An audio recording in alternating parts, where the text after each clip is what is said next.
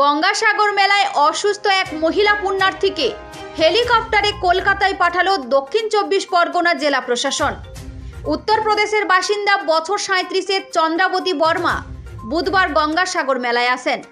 বুধবার বিকেল থেকে তার শ্বাসকষ্ট শুরু হয়।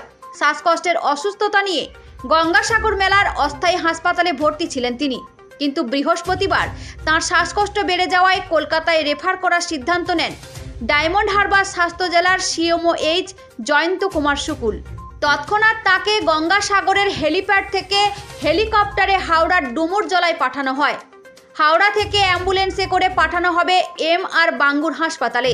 তার পরিবারকেও খবর দেওয়া হয়েছে বলে জেলা প্রশাসন সূত্রে জানা গিয়েছে। জেলা শাসক সুমিত গুপ্তা জানান, আমরা হাসপাতালে ভর্তি করার সমস্ত ব্যবস্থা রেখেছি। দু হাজার তেইশের গঙ্গাসাগর মেলার জন্য আলাদা বিভাগ খোলা আছে এম আর বাঙ্গুরে। একটা মহিলা চন্দ্রবতী বর্মা তিনি আহ, বলিয়া থেকে এসছেন। ওনার মহারাজ একটা ওনাকে পরশুদিন আহ, সাগর হাসপাতালে নিয়ে এসেছিলেন। টেস্ট ফেস্ট করা হলো। টেস্ট করে ওনার মেডিকেল হিস্ট্রি জানা গেল। আজকে হঠাৎ করে কালকে ওনার স্বাস্থ্য একটু খারাপ হলো।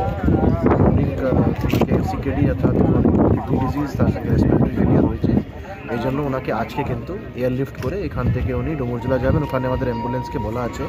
অ্যাম্বুলেন্স ওনাকে ওখান থেকে এমআর বাঙ্গুর হাসপাতালে নিয়ে যাবে। সেখানে কিন্তু একটা রুম ওনার জন্য রাখা আছে। আমাদের এখানে আমাদের সিএমও সাহেব, আমাদের নমস্কার এখানে রয়েছে সুপার এমআর বাঙ্গুর। তিনি যোগাযোগ লংবেদ এমআর বাঙ্গুর আমাদের করে দিয়েছেন।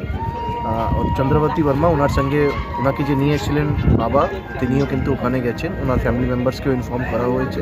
ওনারাও কলকাতা আসছেন। আশা করি এমআর বাঙ্গুরে উনি সুস্থ হয়ে বাড়ি গঙ্গাসাগর থেকে ক্যামেরায় সুভাষিস সর্দারের সঙ্গে অমিত মণ্ডলের রিপোর্ট বেঙ্গল আইকন নিউজ।